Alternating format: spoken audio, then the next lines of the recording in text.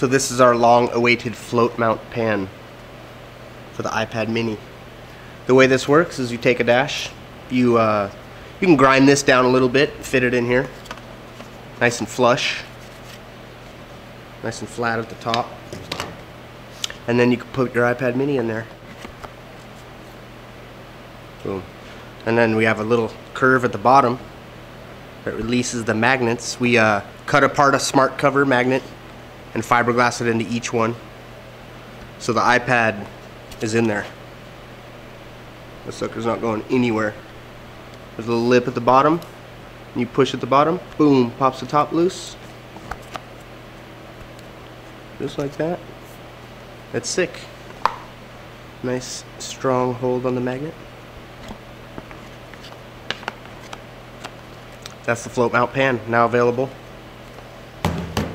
Comes with a piece of suede for the back. Now this ain't no sissy's kit. This ain't no sissy iPad kit. You gotta cut this up, you gotta grind it, you gotta cut your dash up, mash that shit together, and then body work it, paint it, make it look good, but this is definitely a very good start if you plan on making an iPad dash.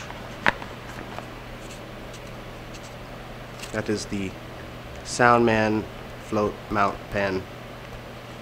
Now available. Go buy one.